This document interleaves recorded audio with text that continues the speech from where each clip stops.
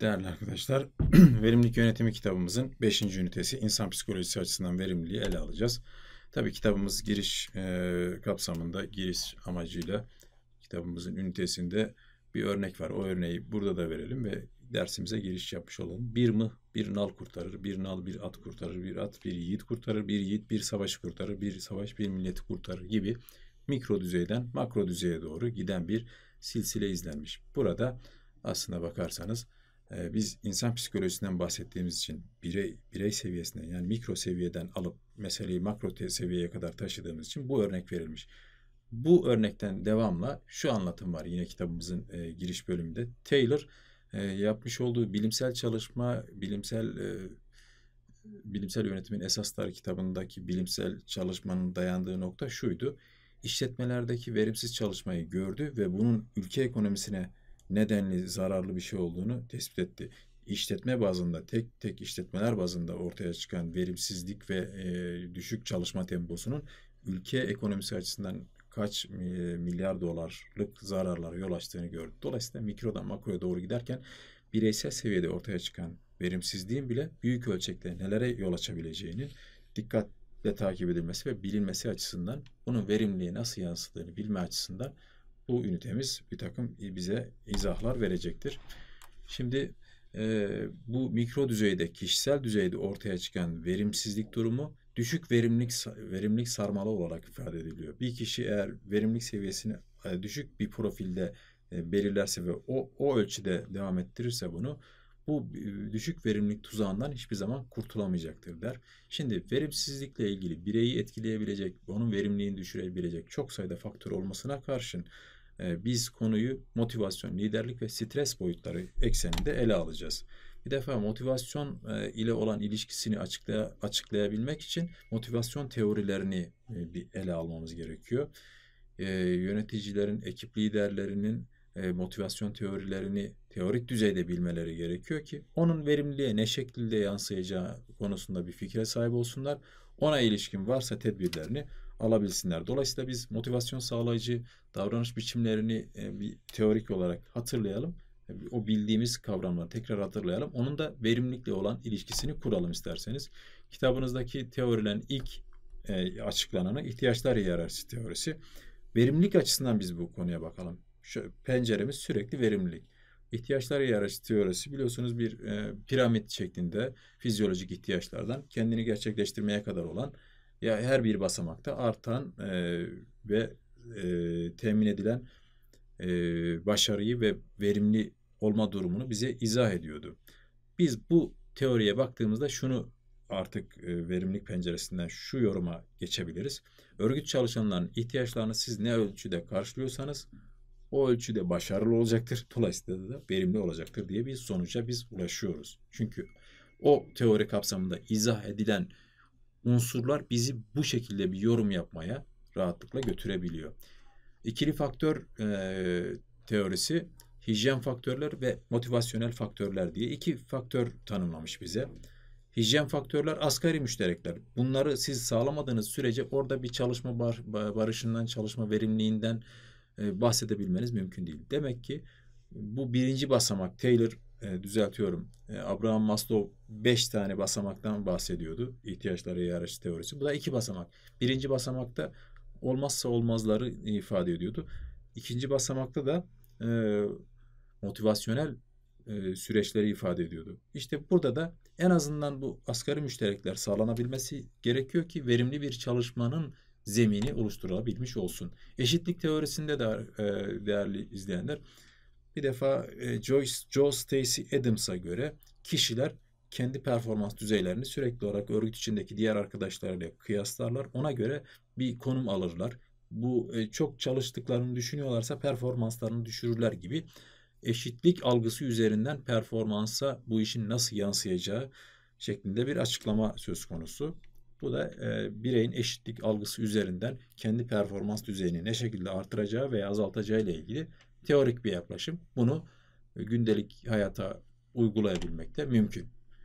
E, verimliliğin liderlik süreçleriyle olan ilişkisine geçiyoruz şimdi. Şimdiye kadarki olan e, diğer yansılarda hatırladığınız üzere motivasyonla olan ilişkisini açıkladık. Şimdi de liderlik süreçleriyle ilgili e, özellikleri açıklar. Bunu da açıklamak için bize teorik yaklaşımlar bir katkı sağlayacaktır. İlk geliştirilen teori özellikler teorisi.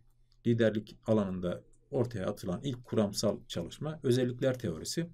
Burada lider kişilerde bulunması gereken olumlu nitelikler sıralanmış ve bu teori doğrultusunda bu özelliklere sahip olan kişilerin iyi bir liderlik sağlayabileceğini yani bu özelliklere doğuştan gelen bir takım olumlu özelliklere sahip olan kişilerin lider olacaklarını, o liderlerin de grupları etkin bir şekilde yöneteceğine yönelik bir özellikler teorisi geliştirilmiş. Dolayısıyla bu, bu gerçeklik, e, bu teori gerçeklikle nedenli örtüşüyor o ayrı bir tartışma, e, ayrı bir tartışma ama genellikle verimliliğe bu olumlu niteliklerin elbette ki verimliliğe yansıyacağı düşünülebilir. Ama şöyle bir parantez açmak gerekiyor.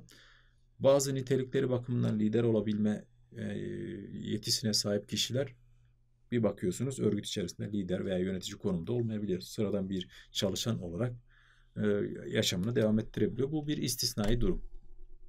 Davranışsal liderlik teorileri de yine detaylı bir şekilde kitabımızda açıklanmış ama burada da liderin davranışları e, özeline inilerek onun penceresinden bakılarak her şey açıklanmış. E, o her şey açıklanabildiğine göre verimlilik ilişkiler de liderlerin davranışları özelinde o e, kapsamda o parantez içinde incelenebilir gibi bir sonuca ulaşıyoruz.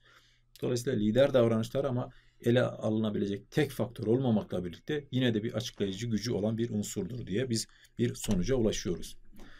E, lider davranışı denildiğinde araştırmaya konu edilen öncelikli unsur başarı olmuştur. Başarı yani davranışlarını liderin sahip olmuştuğu bulunduğu davranışlar onu ne şekilde başarıya götürür veya başarıya götüren davranış modelleri nelerdir dediğimizde aynı şeyi başarı eşittir veya denktir diyelim.